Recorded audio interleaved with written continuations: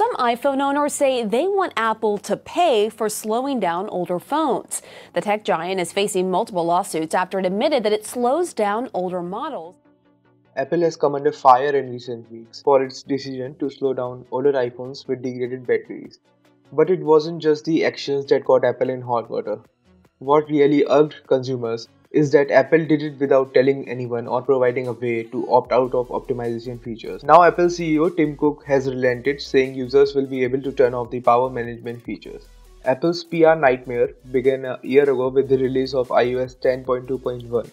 That was the first version of the OS that checked battery health and made changes to system performance when a battery was not working well. All lithium ion batteries lose some voltage as they age, and Apple found that some of its phones were unable to keep the high power CPU cluster powered as the batteries got old. The solution was to throttle performance on these devices to prevent unexpected shutdowns. After months of increasingly frustrated complaints from iPhone users, benchmarking firm Geekbench pored over its data and confirmed that yes, newer versions of iOS had introduced throttling without telling anyone. Apple is currently defending itself against several lawsuits related to the incident. It has also offered to replace the battery in any affected iPhone for $29. A new battery resets the optimization settings, returning a device to full performance. Apple had already said that a future iOS update will give users more insight into the state of their battery.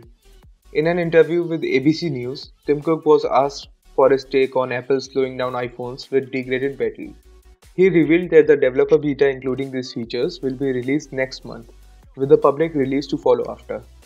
Moreover, he says that this forthcoming update will give users the option to disable the throttling to maintain normal CPU performance, but will be at risk of unexpected shutdowns.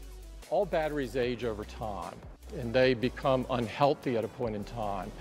And, and an unhealthy battery has a probability that it will create an un, unexpected restart.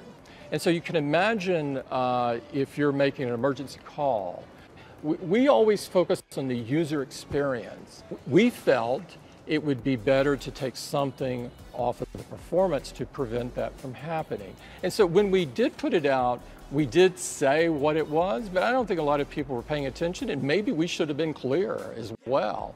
well we're also going to, in a first in a developer release that happens next month, we're going to give people uh, the visibility. We will tell somebody saying, you know, we're slightly reducing or we're reducing your performance by some amount uh, in order to not have an unexpected restart.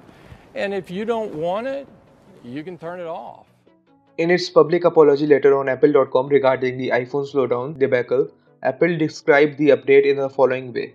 Early in 2018, we will issue an iOS software update with new features that give users more visibility into the health of their iPhone's battery so they can see for themselves if its condition is affecting performance. This implied an enhancement of the battery screen in iOS settings to include more information about the iPhone's battery health and whether users were being subjected to Apple's advanced power management throttling. It did not say anything about Apple giving users the choice to disable battery throttling, so either Tim Cook misspoke or he is sharing new details. We will know soon. A developer beta in February probably means a public release of this update will be available in March.